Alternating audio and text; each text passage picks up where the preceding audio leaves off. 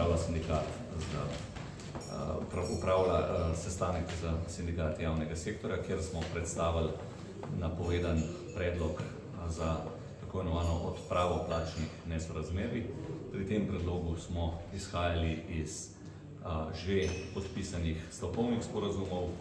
in z tistih dogovorov, ki so bili uh, na nek način lansko leto že usklajeno oziroma smer, v katero so šli te sestanki uh, v lanskem letu. Uh, predstavili smo tudi, vkolikor bi vse to implementirali, kakšen uh, finančni učinek ima in na drugi strani seveda potem tudi odprli možnost dogovora, to se pravi nek razpon, znotraj katerega se lahko pogovarjamo, predvsem v kontekstu tega, da bi bila sama implementacija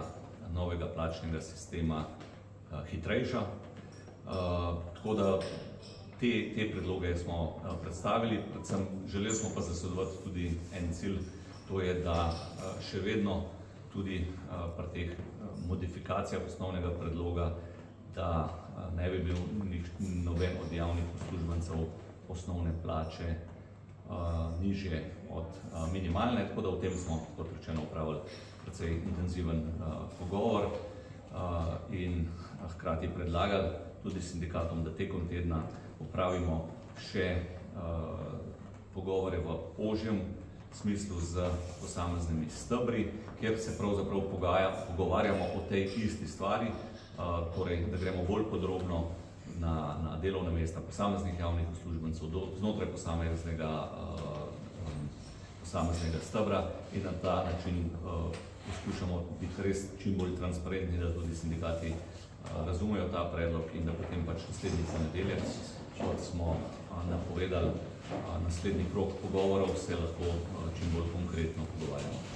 Lahko malo bolj vsebinski, kakšne konkretno spremembe ste predlagali? Ne, bolj vsebinski kot to, kar sem povedal, ne mislim biti niti danes, niti v nadaljevanju teh pogovorov, ker verjamem, da je to stvar pogajanj in razgovorov med eni strani vladno skupino, na drugi strani uh, sindikatom in da špekulacije, ki veliko krat potem grejo v smer, ki nima velik realnosti s tistim, kar smo se pogovarjali, izrazito škodijo temu, da bi dogovor sklenili, tako da v tem kontekstu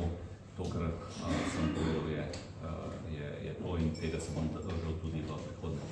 Sem prav razumem, da, da minimalna plača pod, uh, mislim, da noben razred pod minimalno plačo zdaj ne bo. Zasledujemo cilj, da nihče nima, os, da od nobenega uh, javnega uslužbenca osnovna plača ni nižja od minimalne, je pa seveda poti do, do tega več, ampak kot že rečeno, podrobnosti ne bi razlagal, ker smo vendarle še v uh, precej uh, zgodnji fazi pogovorov na to temo. Razmerje med najvišjo in najnižjo ostaja 1 proti 7 po vašem predlogu. Kot rečeno, to, kar sem uh, imel namen povedati, sem povedal. Kaj je res? Sindikati so združeno eno no, pred tednom dni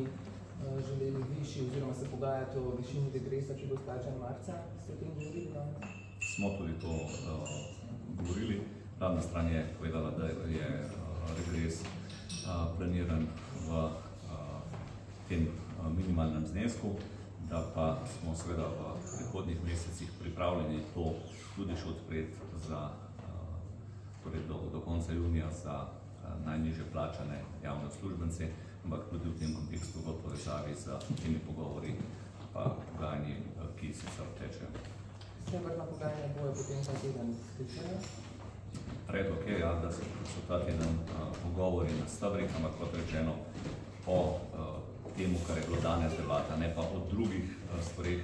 ki jih je treba tako tudi na stabrih seveda čim prej začeti, tako da v tem kontekstu smo tudi uh, povedali, da si želimo, da tudi ostale stvari, ki so specifične za posamezen stebr, odpremo čim prej in na nek način, da si želimo naslednji teden uh, tudi na tem področju začeti uh, ali pa nadaljevati pogovore na, na stabrih. Hvala, izvolite gospod Štupič. Ja,